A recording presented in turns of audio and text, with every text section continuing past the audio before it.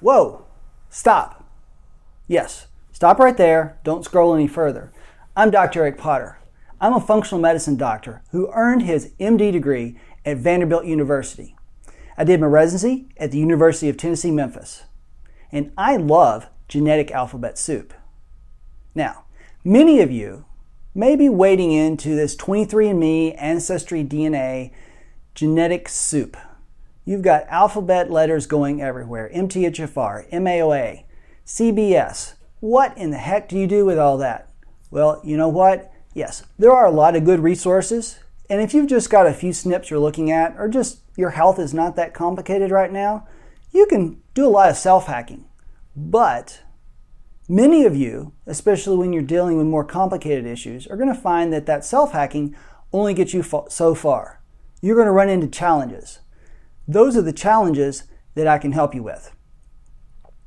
You see, when you walk into some of those reports, you may look at one of these online reports where you've uploaded your data and they give you 50, maybe even 100 pages of do this and do that. It is, it is a recipe. If you open a recipe book up, it has a lot of ideas about different recipes. However, in your health, you have one recipe and you want it to taste good.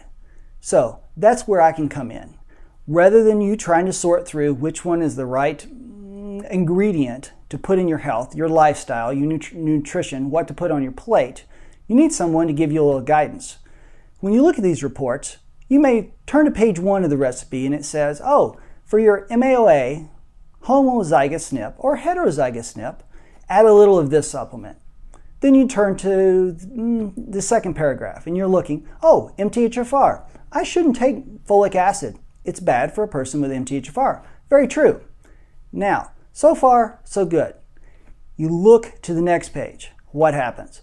Oops, that supplement you were supposed to take for MAOA, ooh, is now no no. Don't add it. Oh, did you already add it in your genet into your uh, health soup? Well, what do you do now? You have to take it back out. Then you go to the next page. Oh, you should take more of this. Oh, you shouldn't. Pretty soon you get pretty confused. What do you do at that point? Well, you can throw up your hands and think all this genetic alphabet soup is just a load of hooey, or you can get help. Now, don't feel ashamed to ask for help. Don't be like the typical guy, won't ask for directions. Says, oh, I know what I'm doing. I'm just going to keep going down the road. I'll get there eventually. Well, we all know that doesn't work out so well. Trust me, I know that. I won't tell you the story, but trust me. Anyway, back to what I was saying. You need to get some help. Whether it's with taxes, whether it's with a mechanic, we all need help at times. Don't be ashamed. What I want to do is be there for you in those times when you're saying, all right, do I add this supplement? Do I not add this supplement? Well, give me a chance at what we call kind of a DNA mini consult, a DNA analysis. You bring your genetic information in, you talk with myself or my physician assistant that works with me.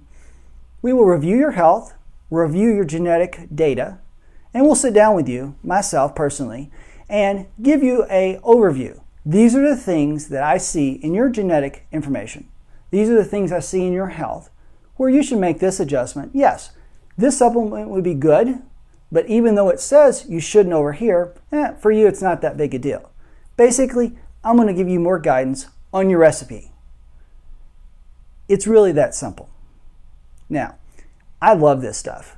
I love cooking up with genetic soup. I love each day that patients come in bringing little different recipes, little different genetic variations in that, and I get to help. It's just one day after another, a job I enjoy. Now, if you'd like that kind of help, if you've gotten frustrated trying to cook up your own genetic soup, you can click below. You see, genetic soup is our specialty. Whoa! One more thing, don't go anywhere we always at Sanctuary Functional Medicine want to give added value. We want you to walk away feeling like you got more than you bargained for. You got more than you paid for. So, because I know that some of you are going to be like, what is he talking about? What is this all this DNA business, this SNP business? What is a SNP? Is that a haircut? No, we don't do haircuts at Sanctuary Functional. What we do is help you determine how to take care of your health based on your genetic testing. and also advanced functional testing. Now, to understand what we're talking about, you need to understand what DNA is, what genetics are, a little bit about what a SNP is. Our genetic information that determines how we are made, how we are grown, how we develop, how we function, depends on four letters A, T, G, and C. With those letters, our DNA makes up three letter words. From those words determines how our proteins are made, how our body functions, and how we live our life, whether it's health or in ill health.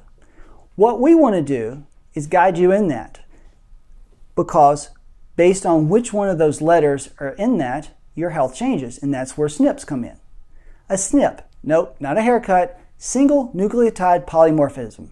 Nucleotide are those different letters A, T, G, or C.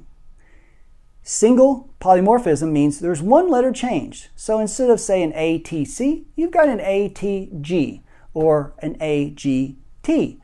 Either way, it's a letter change. You're like, well, so what? Well, if you're reading a story and there's a letter change from, say, um, dog to dig, yeah, that makes a difference. Dogs do dig, but it's a different story. Now, back to genetics. What we're doing is helping you figure out do those little letter changes make any difference in your health? You see, sometimes they do.